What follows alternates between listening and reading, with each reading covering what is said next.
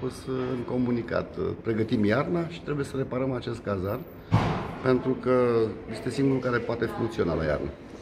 Celelalte uh, unități de producere au probleme, fie tehnice, fie din punct de vedere reglementar, adică nu îndeplinesc cerințe de mediu, iscir, pot fi un risc. Ați primit asigurări din partea primăriei Ploiești că va achiziționa, eu știu, o Nu a sursă... fost obiectul discuției, am, exp- am explicat doar ceea ce se întâmplă fizic în teren. Deci, Și practic, de- de... de luni se întrerupe furnizarea apei calde? Da, nu avem altă soluție.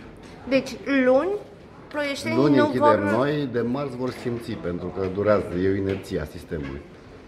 Am înțeles. Nu s-a găsit o soluție ca să nu Pe evitați soluție de această... pe o zi pe alta nu se pot găsi. În comunicatul termoficare Prahova se menționa faptul că în cazul în care nu vor fi luate măsuri, există riscul inclusiv uh, la iarnă să nu se poată asigura agentul termic pentru Eu zic întreaga să cantină. trecem perioada aceasta, reparăm cazanul și după aceea vedem.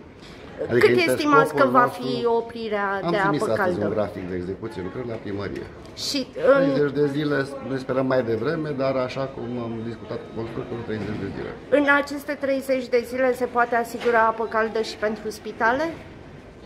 Nu se poate asigura, nu avem de unde. Deci uh, și spitalele... Cet Brazil este oprit și atunci tot, toți consumatorii sunt afectați.